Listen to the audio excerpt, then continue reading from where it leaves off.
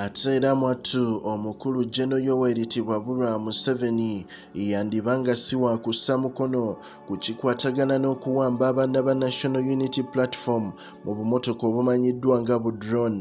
Kyaddaaki era omukulu bobi wine avuddeyo n'abaako omukulu omu amanyiddwa nga aiden kaliisa gwe yapositinze embeera gwe yatuuseko olunaku olw'eggulo ate mwate ku progen media gwe yonna gy'osinziira okuba nga ate ku mukutu kwoli. Nagamba osubscribinga n'onyiga n'akade n'oba nga updates zonna ozifuna bulungi nnyo. Ate ne nkugamba nti vidiyo sooka nga n'ogilikinga olwo mwattu n'ogiwulira mpaka lweggwako olwo n'onteerawo endowooza yo mu comment section. Era jordan saudi arabia uganda kenya tanzania e bahrain mwebale kubanga ate mwenna gye musinziira ku mukutu kwe muli. Yes kyaddaaki omukulu bobi wine yavuddeyo olunaku olw'eggulo n'abaako uh, posti emu gye yakoze n'agamba nti kyaddaaki omukulu omu oba muyite comrade amanyiddwa nga aiden kalisa ngono strong national unity platform supporter.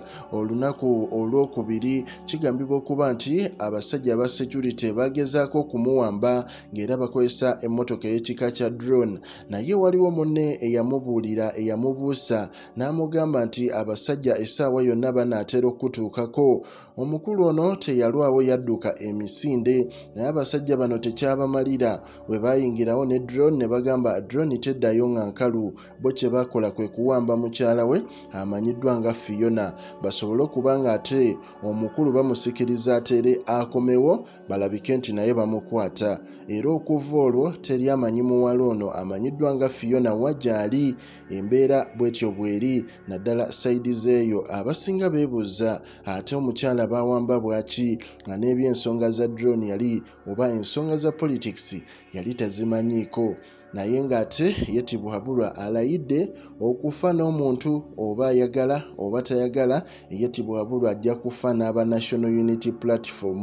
Naye ng'ate nabo mwattu beewayo okuba nga teri agenda kuzikiza paka nga bafunye obuwanguzi bwabwe bwe bagamba nti ate bwali bwabbibwa emabegakaawo ku progen media mbankuwa updates ezigenda mu maaso mu ggwanga erya uganda. Likinga commentinga era subscribinge